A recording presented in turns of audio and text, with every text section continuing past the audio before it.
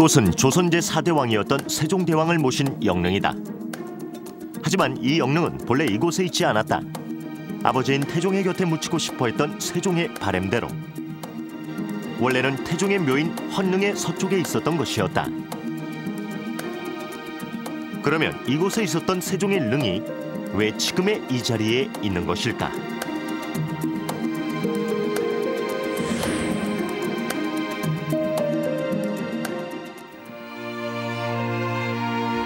수준 높은 민족 문화의 창달과 조선 왕조의 기틀을 다졌던 세종 대왕. 하지만 그가 죽은 후 왕가인 일대 피바람이 몰아친다. 문종이 즉위한 지 겨우 13개월 만에 병이 들어 죽고 단종은 영월에 유배된 후 권력자들의 강요에 못 이겨 목숨을 끊게 된다. 또한 세종의 왕자 6명도 죽임을 당하는 등 왕가의 고륙 상쟁이 끊이질 않았던 것이다. 하여 조종에선 말들이 많았는데 그러한 비극은 세종의 묘를 잘못 썼기 때문이란 설이 점점 설득력을 얻게 된다. 그리하여 예종은 세종의 묘를 파묘해보라 명하는데 전하 상지간 안효래이옵니다. 어 그래 어떻든가 파묘를 해보니 물이 가득 고여 있었사옵니다, 전하. 내 설마 있거늘 어찌 그런 곳에 모셔졌단 말인고 하루라도 빨리 천묘를 하여 더 이상 화를 피해야 할 것이옵니다, 전하. 암 그래야지 당장 길을 떠나 천묘를 하여야 할 명당 자리를 알아보게 예, 전하. 예종의 명과 국가의 중대 임무를 지닌 안효래는 천묘할 자리를 찾기 위해 길을 떠나게 된다.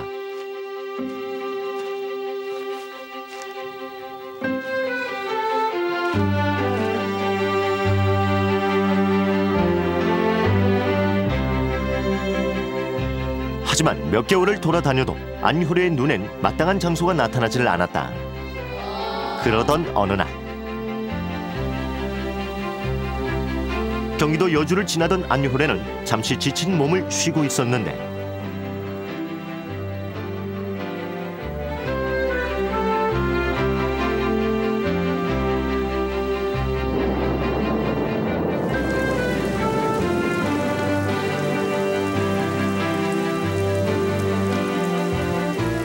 갑자기 내리는 소나기에 안효래는 돌다리를 건너 냇가 건너편에 있는 한 제실로 들어가 비를 피하게 된다.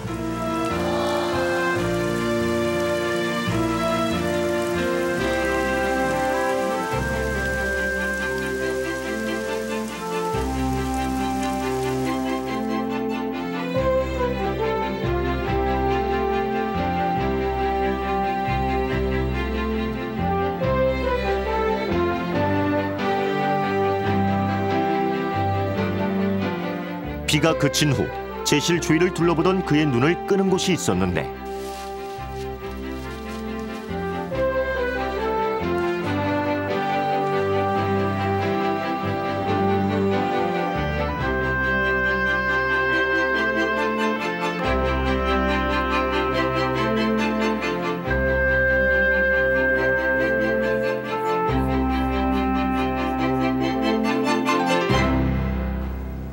천선 강탄의 선인 단좌라.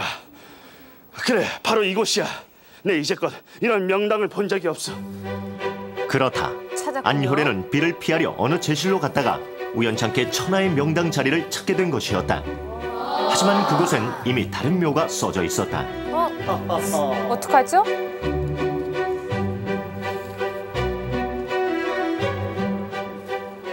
지금 뭐 하시는 게요?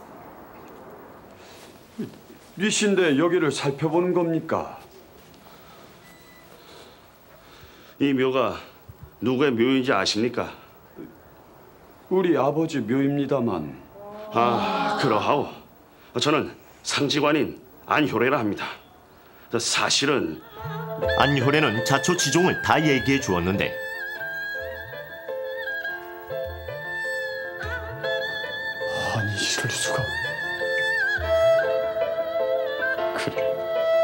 아버님의 말처럼 저 제시를 짓지 말았어야 했단 말인가 아니, 그게 무슨 말입니까? 또 사연이 있나요? 아버지의 말대로 제시를 짓지 말았어야 했다는 저 말엔 도대체 어떤 비밀이 숨어 있었고 이 묘에 잠들어 있는 자는 누구였을까? 제실이 없었다 하면은 안 찾아왔겠지요. 아하. 그런 건가요? 아버지, 아버지. 이자가 바로 그 무덤의 주인공인 이인손이다. 그는 광주이 씨 3세 손으로 태종 때 문과에 급제하고 세조 때 우의정을 지낸 정승이었다. 그는 죽음을 맞이하며 자손에게 유언을 하게 되는데 내가 말한 묘를 쓰되 두 가지를 명심하거라. 예, 아버지. 첫째, 묘 아래 흐르는 냇가에는 다리를 놓지 말 것이며 둘째, 묘 옆에 제실이나 사슴 같은 그물을 치어서는 한이 된다.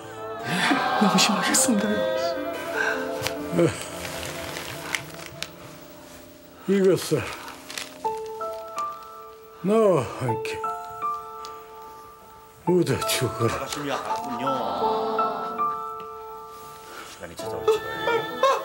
이인손의 자손들은 그의 유언대로 묘를 쓰고 하지 말라고 한 두 가지를 지키게 된다. 그후 이인손의 친자 오형제와 종형제 3인을 합하여 팔급 조정이란 말이 생겨날 정도로 정승 판서가 인손의 가문에서 쏟아져 나오게 된다. 하하. 그런데 정말 몇 자리가 몇 자리 있었군요. 좋아서 그런가요? 네.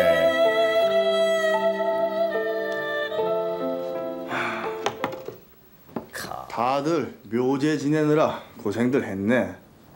숙부님 고생은요.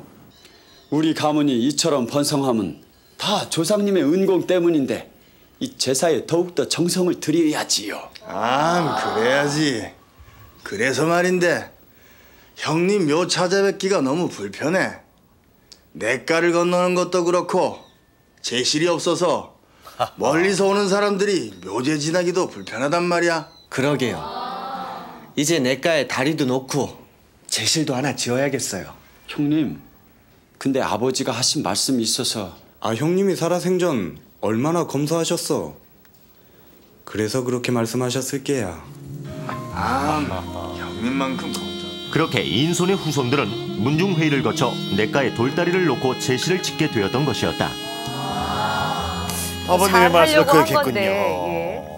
아버지의 유언대로 따랐더라면 상직원 선생께서 이곳을 못 찾았을 텐데 이곳을 안 본 걸로 할 순 없겠소. 이 자리는 천하의 명당 이외다. 내 천하의 명을 받고 온지라 숨기기는 곤란하오. 일단 전하께 보고는 해야 합니다. 이 일을 어찌할꼬? 안효래는 예종에게 사실을 고하였고 예종은 이인손의 장자인 당시 평안도 관찰사였던 이극배를 궁으로 불러들이게 된다. 자네가 조정의 안위를 생각하여 아버지의 묘자리를 넘겨줄 수 있겠는가? 전하, 아래없게 송구하오나 어찌 자식된 도리로 아비의 묘를 훼손할 수 있겠습니까? 허허, 어찌 훼손이라 생각하는가? 대신 다른 좋은 곳을 찾아 이장하면 되지 않겠는가? 하오나, 그리하여 우리 가문이 화를 입지 않을까 두렵사옵니다, 전하. 상지간의 생각은 어떠한가? 그 자리는 군왕을 모실 자리론 최적이오나 정승의 묘 자리론 너무 과함으로 되려 화를 부를 수도 있을 것이라 사료되옵니다, 전하. 음, 그렇단 말이지. 들었는가, 저 상지간의 말을? 내 이러는 것은 천명을 길이 보전하기 위함이네. 내 보답은 크게 하겠네. 예종은 회유와 우회적인 압력을 가하였고 결국 이극배는 할 수 없이 문중의 회의를 거쳐 선친의 묘를 내놓게 된다. 어, 참. 이 세종대왕. 이 옮기게 되는군요. 참 형님, 그거 기억나십니까? 뭐 말이냐? 아버님이 같이 묻어달라 했던 봉투 말입니다. 이것을 나와 함께 묻어 죽어라. 봉투 안에 뭐가 있을까요? 이거 아닙니까요?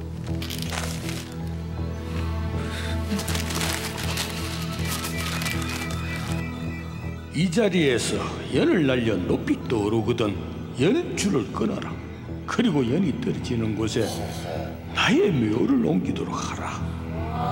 형님. 미리 내다보셨군요, 아버님께서. 아버지는 하신 분이네요, 이렇게. 될 줄 미리 알고 계셨던 거야. 세상에 만상해라. 끊어서 떨어지는 자, 곳에. 연이 높이 날고 있네요.